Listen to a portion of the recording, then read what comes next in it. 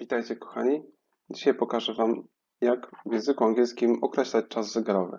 Skupimy się na pełnych godzinach oraz połówkach, czyli nauczymy się jak powiedzieć na przykład pierwsza 00, druga 00 i pierwsza 30, druga 30 i tak dalej, i tak dalej. E, przypominam Wam, że my Polacy stosujemy 24-godzinny system zegarowy. E, Brytyjczycy, Amerykanie używają 12-godzinnego, czyli krótko mówiąc My Polacy mówimy na przykład 15, 16, 17, 23. Oni nie używają tych liczb, oni używają tylko od 1 do 12. Ok, to zaczynamy. Słuchajcie, e, jeżeli będziemy mieli pełną godzinę, Krótko mówiąc, nasza wskazówka wielka będzie na 12, na 12 tutaj. E, załóżmy, mała wskazówka będzie wskazywała tutaj, w tym miejscu, godzinę pierwszą. Tak. OK. Zobaczcie, mam pełną godzinę. Muszę użyć takiego fajnego zwrotu magicznego, trochę śmiesznego. Słówka o'clock. To słówko to dosłownie ono oznacza 00, tak? Ono jest tylko i wyłącznie używane wtedy, gdy mamy pełne godziny. No to zobaczcie, jest pierwsza 00. Jak trzeba to powiedzieć w języku angielskim? Jeżeli ktoś będziecie na wycieczce w Londynie, podejdzie do Was Brytyjczyk, zada Wam pytanie Excuse me, what's the time? Patrzymy na zegarek, widzimy, że jest pierwsza. Trzeba odpowiedzieć It's one o'clock.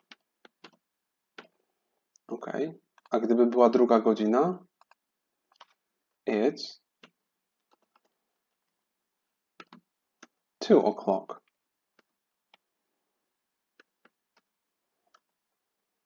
It's two o'clock. Ok, jak to spróbuję? Trzecia 00. Śmiało. O, oczywiście. It's three o'clock. I tak dalej, i tak dalej. Do 12. 4 o'clock, 5 o'clock, 6 o'clock, 7 o'clock, 8 o'clock, 9 o'clock, 10 o'clock, 11 o'clock and 12 o'clock.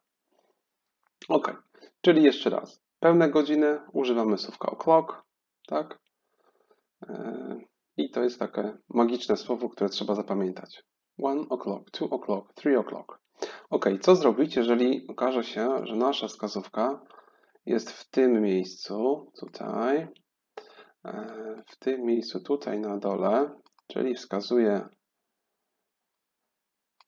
cyfrę 6, czyli mamy pół po którejś, zgadza się? Mamy pół godziny po którejś godzinie, na przykład pół po pierwszej.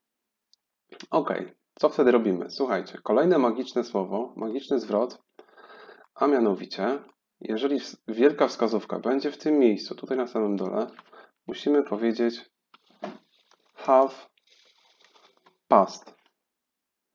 Have passed. Taki fajny zwrot. On dosłownie oznacza pół po. Have passed. Zwracam Wam szczególną uwagę na wymowę tego pierwszego wyrazu. E, litery w tym wyrazie, tak jak widzicie, natomiast wymowa have, have, have. Nie słychać w ogóle literki L w tym wyrazie, zgadza się? Jeszcze raz wam powtórzę. Have.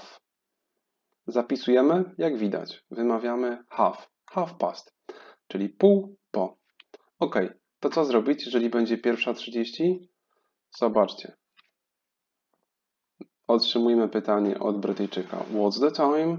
Odpowiadamy. It's. O, momencik. It's half past one, czyli dosłownie jest pół po pierwszej. Ok, co zrobić, jak będzie druga 30? Uwaga. It's half past two. Czyli jest pół po drugiej. Jest pół po drugiej. Ok. To teraz jeszcze spróbujcie. Trzecia trzydzieści, czyli pół po trzeciej. Jak to powiedzieć? No jasne. It's half past three. Czyli jest pół po trzeciej. Jest pół po trzeciej. I tak dalej, i tak dalej. Zobaczcie, podsumowując, jeżeli chcemy powiedzieć pełne godziny, używamy słówka o'clock, one o'clock, two o'clock, three o'clock. Jeżeli mamy pół po którejś, używamy zwrotu half past. It's half past one, it's half past two, it's half past three. Ok. To tyle, jeżeli chodzi o określanie czasu zegarowego. Wydaje mi się, że to nie jest trudne. E, wystarczy zapamiętać te dwa magiczne słowa. O'clock i half past. E, przy określaniu czasu zegarowego przydaje nam się jeszcze jedno takie słówko, taki zwrot.